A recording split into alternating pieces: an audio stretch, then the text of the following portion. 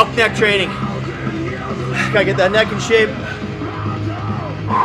So usually the first part of the season, sometimes you get a really sore neck from a hard landing. And but basically this year I'm gonna just get the neck really, really strong. And uh, be prepared for those first tomahawks and first hard hits.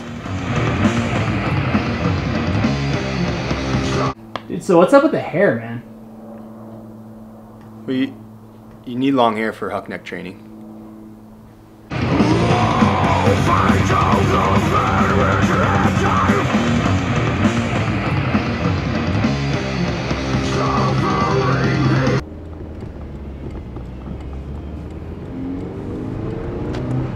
Where are we going right now, Todd? Uh, I'm gonna go into the gym and uh, do some huck neck training there.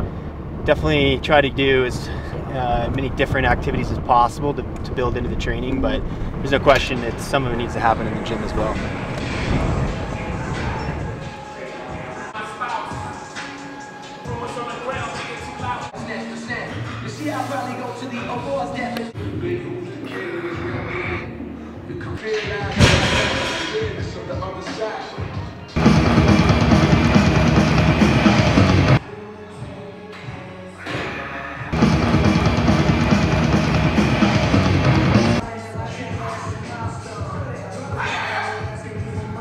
How's it feel?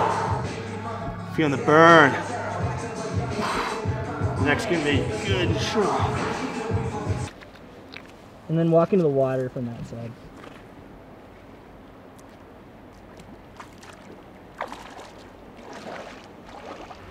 River is crucial for huck neck training as well because cold water is similar to the snow environment and also great for recovery.